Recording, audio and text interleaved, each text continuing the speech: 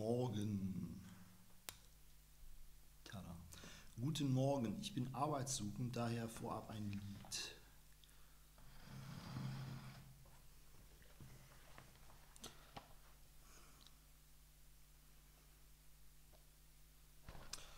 Found a peanut, found, nee, found a peanut, found a peanut, found a peanut last night. Last night I found a peanut, found a peanut last night. Where'd you find it? Where'd you find it? Where'd you find it last night? Last night, where'd you find it? Where'd you find it last night? In the dustbin, in the dustbin, in the dustbin last night. Last night, in the dustbin, in the dustbin last night. Cracked it open, cracked it open, cracked it open last night. Last night I cracked it open, cracked it open last night. Found it rotten, found it rotten, found it rotten last night. Last night I found it rotten, found it rotten last night. Ate it anyway, ate it anyway, ate it anyway last night. Last night I ate it anyway, ate it anyway last night. I felt sick, I felt sick, I felt sick last night. Last night I felt sick, I felt sick last night.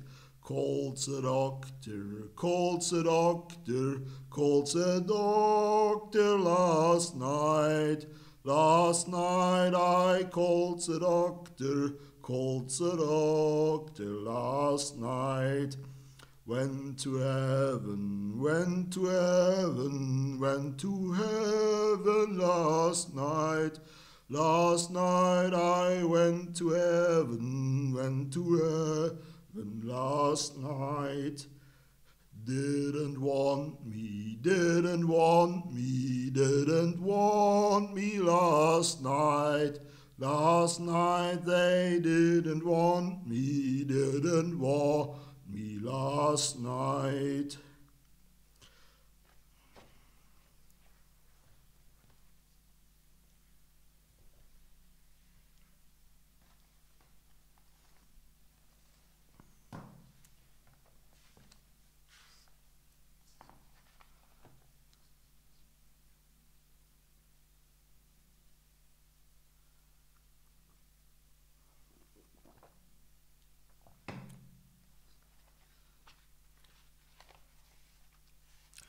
So, das Buch, das ich lesen will, heißt Freiberufler fit fürs Finanzamt. Ähm, Buchführung, Rechnung, Steuern und Co. Ähm, ich lese das nicht freiwillig. Ich bin arbeitssuchend und suche ein Anstellungsverhältnis.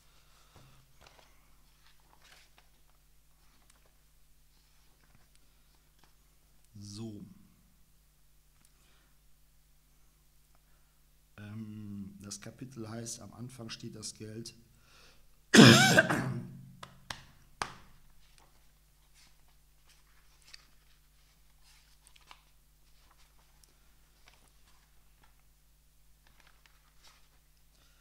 was sie über Rechnungen wissen sollen. Und äh, ich bin angekommen im Abschnitt Rechnung aber so richtig auf Seite 21. Und jetzt stelle ich erstmal die Eieruhr.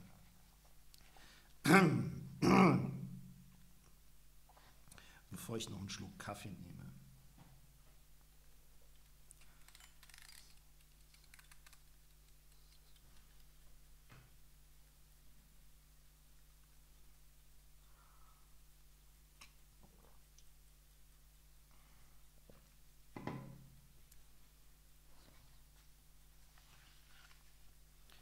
Zahlungsziel und äh, ist so ein Zeichen aus der Legende.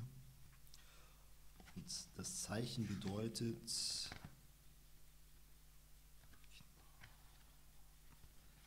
hinter den Paragraphen, also hinter den Paragraphen Zahlungsziel. In jedem Vertrag sollte ein Passus enthalten sein, der die Fälligkeit der Rechnung regelt. Ein solches Zahlungsziel entscheidet später über den möglichen Verzug eines nicht zahlenden Kunden und damit auch über Zinsen. Nach dem Gesetz ist ein Schuldner zwar, sofern er ein Unternehmen ist, nach Ablauf von 30 Tagen Fälligkeit der Forderung und Erhalt der Rechnung automatisch in Verzug, aber bei Verbrauchern gilt diese Regel nur, wenn bei Vertragsabschluss ausdrücklich darauf hingewiesen wurde. Hier hilft ein Passus in der Rechnung etwa, Sie geraten spätestens 30 Tage nach Erhalt dieser Rechnung in Verzug. Beschluss 286 Absatz 3 des bürgerlichen Gesetzbuchs. Ich verzichte jetzt darauf, danach zu gucken. Dazu kommt, dass kürzere Zahlungsziele als das gesetzliche in jedem Fall bereits bei Vertragsabschluss festgehalten werden müssen. Ich würde die äh, Formulierung ähm, anders wählen. Ich finde dieses spätestens da an der Stelle vollkommen deplatziert. Ähm, ich würde als Richter auch anfangen, äh, auf denjenigen, der da klagt, einzu, äh, einzuprügeln äh, weil das so eine Art Willkür des, des Leistungserbringers ermöglicht. So nach spätestens 30 Tagen bist du in Verzug, aber wenn ich das will, auch früher. So, das gehört da nicht hin. So was sind so juristische Ratschläge, die von äh, Inkassomani aus Hagen kommen könnten.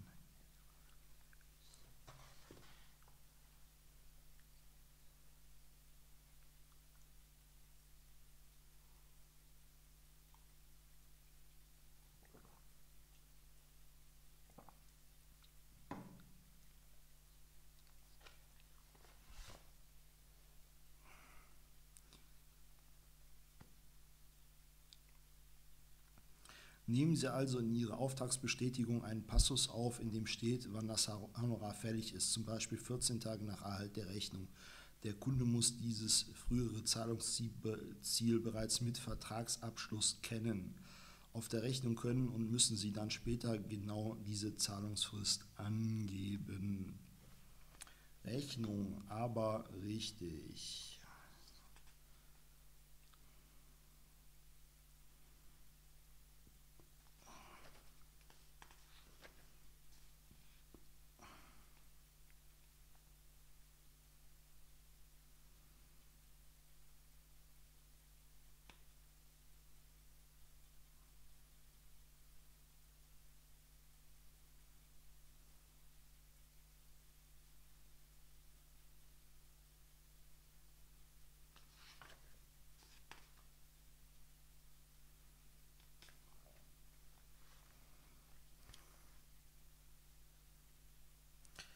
Ist der Auftrag erledigt, können Sie nun die Rechnung schreiben. Dafür gibt es keine, einheitlichen, äh, keine einheitliche Vorlage. Bei Geschäften zwischen Unternehmen sind Sie allerdings verpflichtet, innerhalb von sechs Monaten nach der Leistung eine Rechnung auszustellen.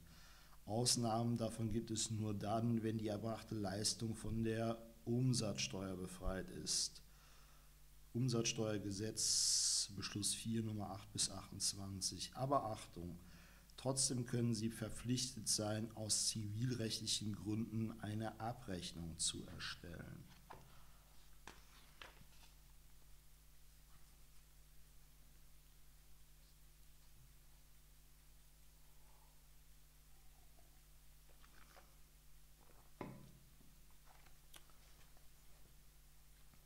Aufbewahrungsfristen für Privatleute. Schreiben Sie Privatleuten eine Rechnung über Leistungen im Zusammenhang mit Grundstücken.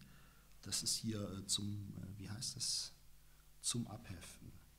Heißt das, schreiben Sie Privatleuten eine Rechnung über Leistungen im Zusammenhang mit Grundstücken, etwa über planerische Leistungen oder Bauüberwachung, müssen Sie diese darauf hinweisen, dass Verbraucher solche Rechnungen zwei Jahre lang aufbewahren müssen. Dazu eignet sich beispielsweise folgende Formulierung. Als Privatleute sind Sie gesetzlich dazu verpflichtet, diese Rechnung zwei Jahre lang aufzubewahren. Die Frist beginnt am 31. Dezember des Jahres, in dem diese Rechnung ausgestellt wurde.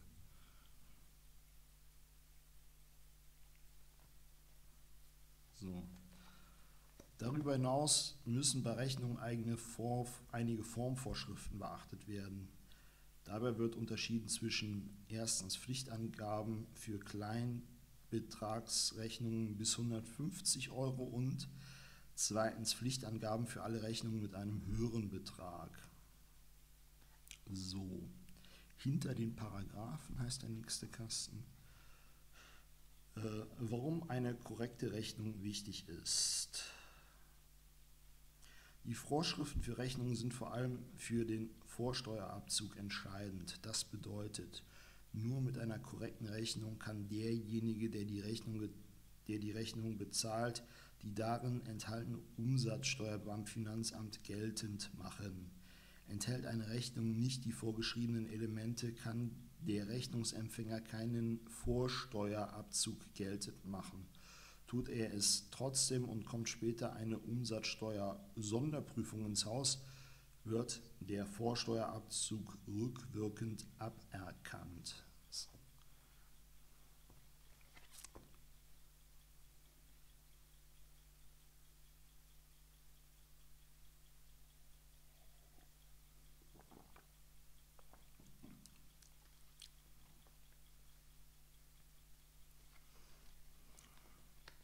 So, damit ist der Kasten zu Ende und es geht weiter im Text. Bei Rechnungen über 150 Euro sind die Formalien umfangreich. Folgende Punkte müssen enthalten sein. Adresse des leistenden Unternehmens. Name und Anschrift, äh, Anschrift müssen vollständig aufgeführt werden. Adresse des Kunden. Hier gilt das gleiche wie bei Ihrer Adresse. Ein Groß, eine Großkundenadresse mit eigener Postleitzahl oder ein Postfach können jedoch die Anschrift ersetzen. Steuernummer des leistenden Unternehmens. Hier gehört die Steuernummer oder die Umsatzsteueridentifikationsnummer hin. Freiberufler, die für ihr Unternehmen eine Steuernummer erhalten haben, die von der Privatperson abweicht, müssen diese auf ihren Rechnungen aufführen. Wer keine separate Steuernummer fürs Unternehmen hat und sich scheut, seine private Steuernummer auf der Geschäftskorrespondenz zu veröffentlichen, kann eine Umsatzsteuer-ID beim Bundeszentralamt für Steuern beantragen. Sie kostet nichts und kann online beantragt werden. Ausstellungsdatum ist auch ein Punkt. Fortlaufende Rechnungsnummer. Dieser Punkt hat in den vergangenen Jahren unter Freiberuflern und anderen Selbstständigen für viel Verwirrung gesorgt. Wichtig ist, dass durch die Nummer klar ist, dass die Rechnung einmalig ist. Die Rechnungsnummer darf also nicht zweimal verwendet werden. Alles andere bleibt dem Unternehmen überlassen. Fortlaufend bedeutet also weder lückenlos noch der Reihe nach. Möglich ist zum Beispiel eine Kombination aus Jahreszahl und Rechnungsnummer, also Beispiel 07013 für die siebte Rechnung im Jahr 2013. Denkbar ist auch eine Kombination mit Kundennummern oder Kundenabkürzungen.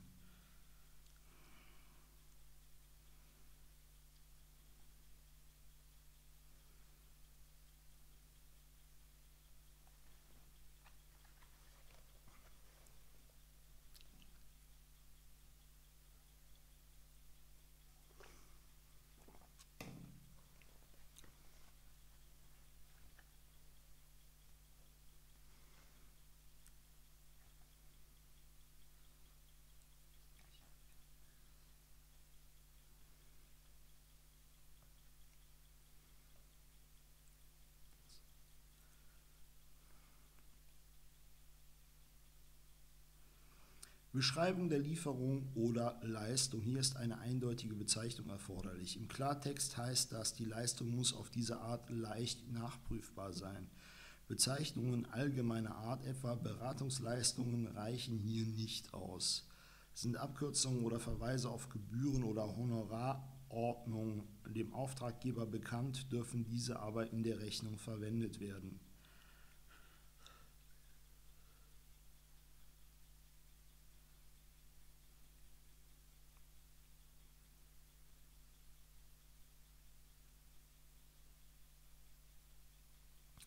Zeitpunkt, Zeitraum der Leistung. Die Angabe des Kalendermonats reicht in aller Regel völlig aus.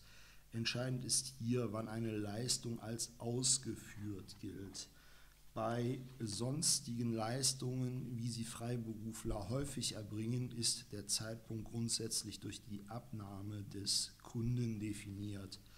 Bei Abschlagszahlungen muss der Leistungszeitpunkt nicht angegeben werden da er ja noch nicht feststeht. Allerdings muss aus der Rechnung klar hervorgehen, dass hier eine noch nicht erbrachte Leistung abgerechnet wird. Außerdem muss es später eine zusammenfassende Schlussrechnung geben, welche die Gesamtrechnung Angaben über sämtliche Abschläge sowie die verbliebene Rechtsforderung enthält. Auch die gesamte zu zahlende Umsatzsteuer sowie der bereits gezahlte Steueranteil und der noch offene Steuerbetrag müssen hier zu finden sein. Nettoentgelt. Wenn die Leistungen unterschiedlichen Umsatzsteuersätzen unterliegen oder zum Teil von der Umsatzsteuer befreit sind, müssen die einzelnen Positionen aufgeschlüsselt werden. Ansonsten genügt ein Nettobetrag.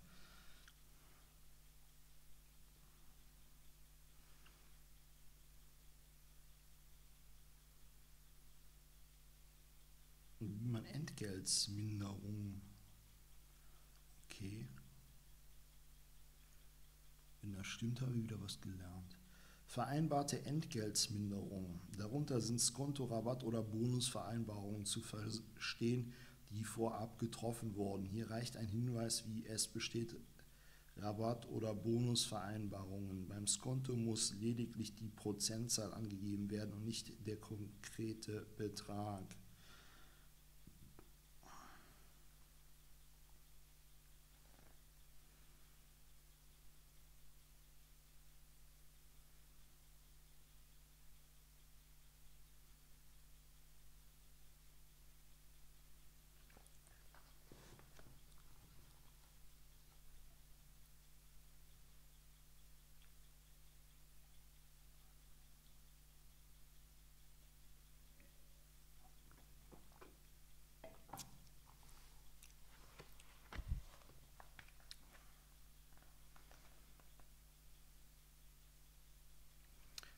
Umsatzsteuersatz und Umsatzsteuerbetrag. So muss man umsatzsteuerpflichtig, so man umsatzsteuerpflichtig ist. Falls es sich um mehrere Leistungen handeln, die demselben Umsatzsteuersatz unterliegen, dürfen sie erst einmal die Gesamtsumme bilden und darauf den Steuersatz ermitteln und ausweisen. Übrigens, wenn Sie Leistungen abrechnen, die von der Umsatzsteuer befreit sind, müssen Sie keine Paragraphen zitieren. Es reicht aus, wenn Sie um umgangssprachlich formuliert den Grund für die Befreiung nennen. Bei Freiberuflern, welche die Kleinunternehmerregelung in Anspruch nehmen, ist ein Hinweis auf die Regelung zwar nicht verpflichtend, aber doch sinnvoll.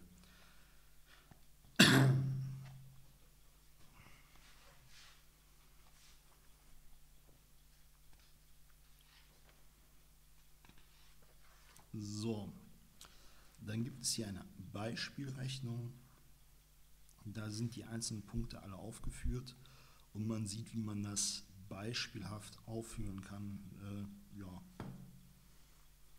Kaufen Sie das Buch, dann können Sie es sich ansehen.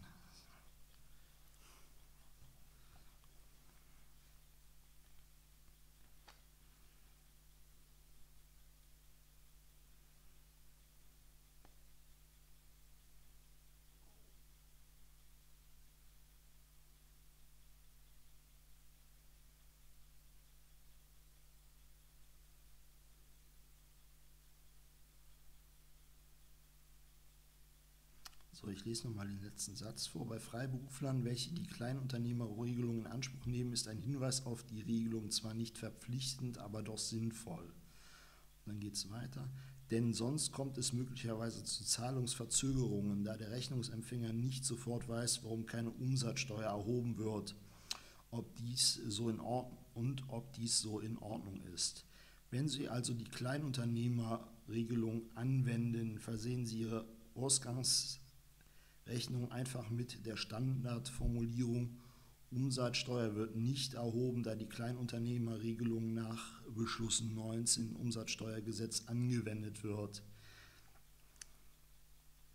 Wenn Sie den Begriff Kleinunternehmer vermeiden wollen, reicht folgender Satz. Gemäß Beschluss 19 Umsatzsteuergesetz enthält, Rech enthält der Rechnungsbetrag keine Umsatzsteuer. So. Mehr Informationen zum Thema Kleinunternehmerregelung finden Sie in Kapitel 2. So, jetzt gibt es einen Finger, was heißt der Finger Steuerrat, Expertentipp. So. Jetzt kommt ein Expertentipp von der Fachanwältin aus Köln, geschrieben in der Comicschrift. Ich frage mich, wie man so eine Scheiße in ein Buch setzen kann. Es sieht einfach nur unseriös aus. Vielleicht sollte man Anwaltszitate grundsätzlich so schreiben. Auch Verträge über dauerhaft erbrachte Leistungen sind Rechnungen. Das gilt für gewerbliche Mietverträge ebenso wie für Verträge über laufende Beratungen oder Wartungsverträge.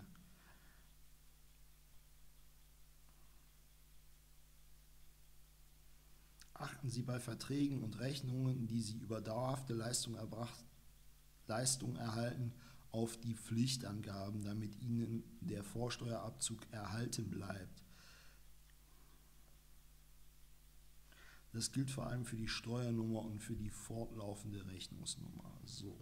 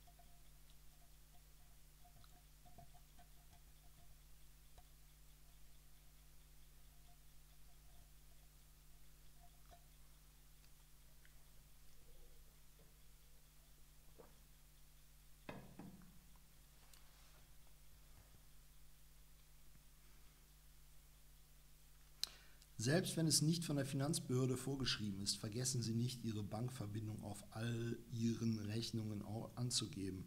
Ohne Kontonummer und Bankleitzahl ist es schwierig, Honorarforderungen einzutreiben. Ein besonderer Fall der Rechnung ist die Gutschrift, denn es gibt durchaus Situationen, in denen Freiberufler nicht selbst eine Rechnung über ihre Leistung schreiben, sondern vom Auftraggeber eine Gutschrift erhalten. Ein Beispiel. Ein Journalist arbeitet für eine, einen Zeitschriftenverlag abgerechnet wird nach Seitenpreisen. Da aber noch nicht klar ist, wie viel Text nach Einbau von Fotos und Anzeigen auf eine Seite passt, rechnet der Verlag am Ende die gedruckten Seiten ab. Danach erstellt die Verlagsbuchhaltung eine Gutschrift für den freiberuflichen Journalisten. Für eine solche Gutschrift sind die gleichen Pflichtangaben vorgeschrieben wie für eine Standardrechnung. So.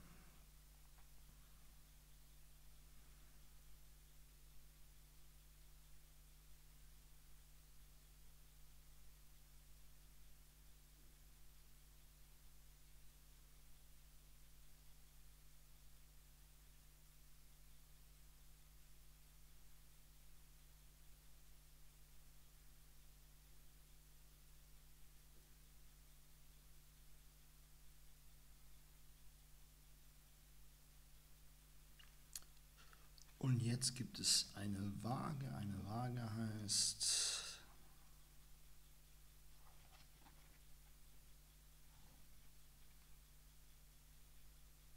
vor Gericht, Hinweis auf interessante Urteile. Also vor Gericht. In diesem äh, Fall ist es der Bundesfinanzhof. Fehlerhafte Rechnung, was nun? Nur selten überprüfen Freiberufler ihre Eingangsrechnungen auf Punkt und Komma und werfen einen Blick darauf, ob alle Pflichtangaben enthalten sind. Dabei können Sie hier viel Geld verlieren, denn wenn, Sie das, denn wenn sich das Finanzamt bei einer Betriebsprüfung die Rechnungen früherer Jahre vornimmt, kommen Flüchtigkeitsfehler teuer zu stehen. Der Betroffene muss die Vorsteuer, die er zu Unrecht von seiner eigenen Umsatzsteuerlast abgezogen hat, plus Zinsen zurückzahlen. Eine rückwirkende Berichtigung der Rechnung war bislang nicht möglich, doch das ändert sich nun möglicherweise, denn der Europäische Gerichtshof hat entschieden, dass eine rückwirkende Berichtigung plus Feuersteuerabzug dann erlaubt ist, wenn die ursprüngliche Rechnung zumindest einige Anforderungen bei den Pflichtangaben erfüllt hat. Der Bundesfinanzhof befasst sich derzeit mit dieser Frage in einem Revisionsverfahren.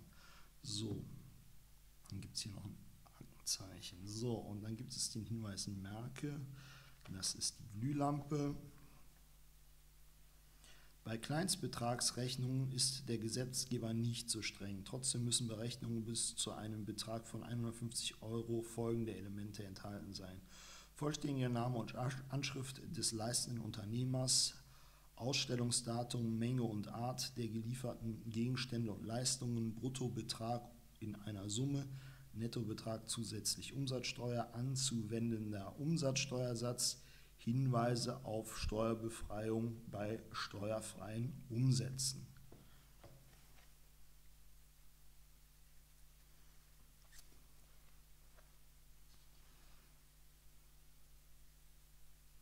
Es ist also nicht unbedingt erforderlich, eine fortlaufende Steuer es ist also nicht unbedingt erforderlich, eine fortlaufende Rechnungsnummer, den Nettobetrag oder ihre Steuernummer zu nennen.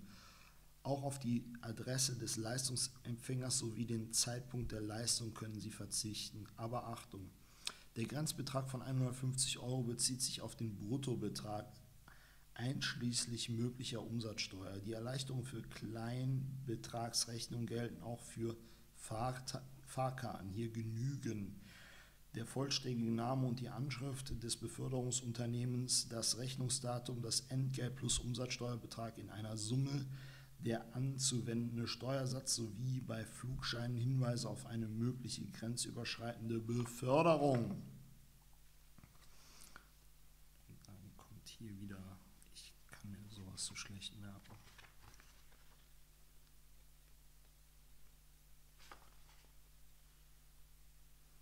hinter den Paragraphen.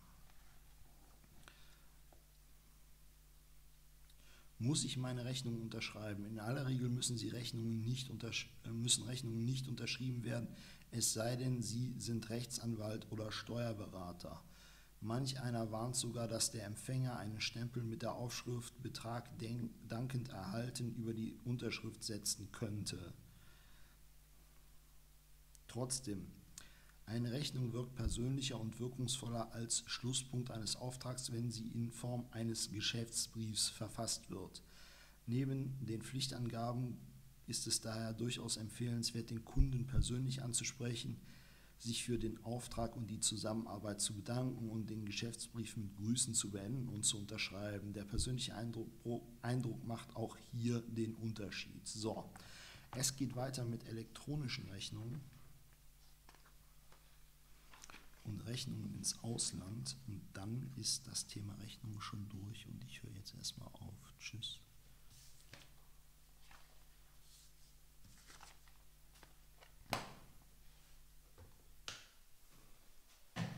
Mhm.